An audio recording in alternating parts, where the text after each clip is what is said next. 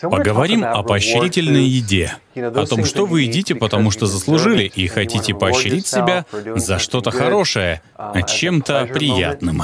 Это прекрасно, но может повлечь проблемы. Стоит только начать, и вы будете поощрять себя все больше и больше. Это абсолютная ловушка.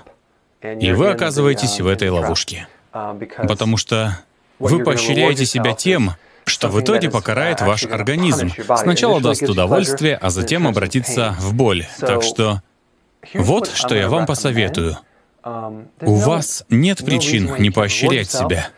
Но надо понимать, что есть разница между тем, что нужно вам, и тем, что нужно организму. Для организма же пироженка или мороженка не будут поощрением. Организм они не поощряют. Они дают вам приятное ощущение на время, на несколько секунд. Но организму это не нужно. Правда. В общем и целом ему это не нужно, ведь эффект получается деструктивный. Так что здесь вам стоит проявить сознательность и отдавать себе отчет в том, что происходит. Лично я абсолютно не против, чтобы вы себя поощряли. Просто делайте это с полным осознанием, что это будет причинять вред в следующие несколько дней.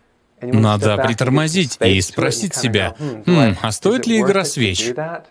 Еще я рекомендую приготовить какие-нибудь полезные вкусняшки. Вы можете приготовить здоровый хлеб с семенами чиа, здоровое мороженое, вы можете сделать здоровую пиццу, здоровые рецепты, даже тортик из миндальной муки. И это будет лучшим поощрением, чем что-либо другое. И лучше завести привычку делать так, потому что иначе это может выйти из-под контроля. Ведь когда вы так делаете, сахар в крови падает, но с натуральными сахарами, такими как эритрит, ксилит и стевия, не будет этих проблем с сахаром в крови, и вы не будете хотеть их каждый день. Я попадал в эту ловушку лет 30 назад. Я тогда любил мороженое. Съедал целых пол-литра. Это было чудесно. Я ел его на ночь.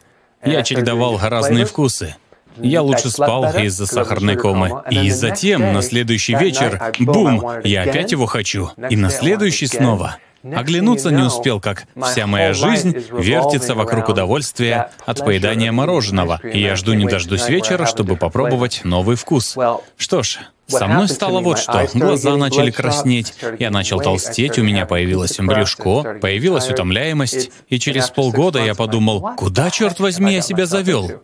Это вредная привычка, на которую я подсел неосознанно. То есть задача в том, чтобы разуть глаза и начать отдавать себе отчет в том, что закидываешь в топку. В общем, вот вам совет. Следуйте ему. Увидимся в следующем видео.